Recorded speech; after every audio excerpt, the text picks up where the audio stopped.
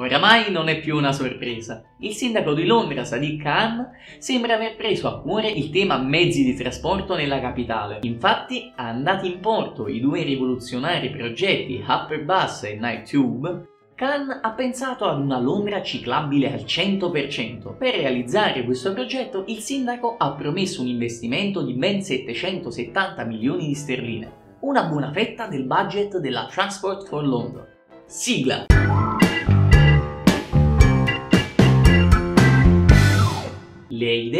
Rendere Londra ciclabile non erano certo mancate neanche sotto la gestione di Boris Johnson. L'ex sindaco infatti aveva aperto la strada a Cannes per una Londra ciclabile con la Standard Bikes e la Seagull Superhighway. Il buon Sadiq ha deciso però di spingere ancora di più in questa direzione conscio dei benefici che una città ciclabile porterebbe.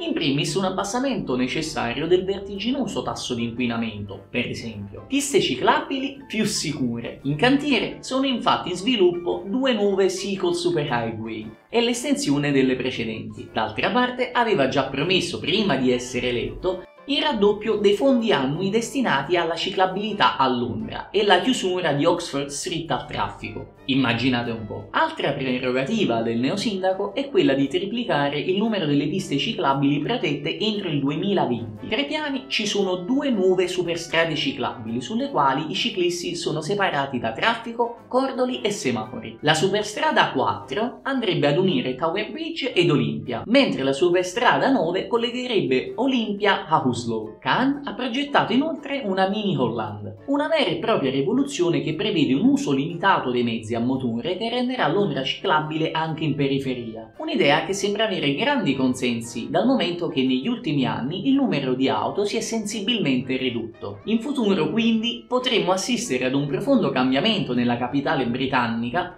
e Londra, famosa da sempre per la sua tube, potrebbe trasformarsi in una meta degli amanti delle bici al pari di altre capitali europee. Vedremo mai quindi una Londra ciclabile al pari che so di Amsterdam o Copenaghen? Fino ad ora i numeri sono tutti dalla parte di Sadiq Khan. Il sindaco inoltre, per essere sicuro di riuscire ad affrontare con successo quella che sembrerebbe un'impresa, ha annunciato su Facebook di aver eletto un bike manager. La scelta è caduta su Will Norman, attuale direttore della partnership globale con la Nike. Norman sarà già al lavoro da febbraio 2017 e il suo compito è quello di convincere i londinesi ad utilizzare sempre di più le loro biciclette. Con queste premesse non ci resta quindi che acquistare una nuova bicicletta in vista dei prossimi cambiamenti nella capitale inglese. Se questo video ti è piaciuto metti mi piace e lascia un commento. Attiva le notifiche cliccando sulla campanella accanto al tasto iscriviti se guardi questo video su YouTube oppure se lo stai guardando da Facebook mi raccomando metti mi piace sulla fanpage e ricordati di cliccare il tasto mostra per primi.